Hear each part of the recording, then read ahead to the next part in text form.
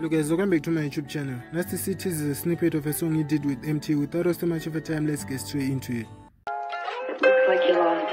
Uh, first we would fail and then we get back up on Cause we never was born to quit Won't prevail from sitting at home alone. Boy, you need to get off your dick. Time will tell what we end up sitting on. I just hope all my niggas get rich. Money to me, that's like nails to the itch. My security pop out with stick like a witch.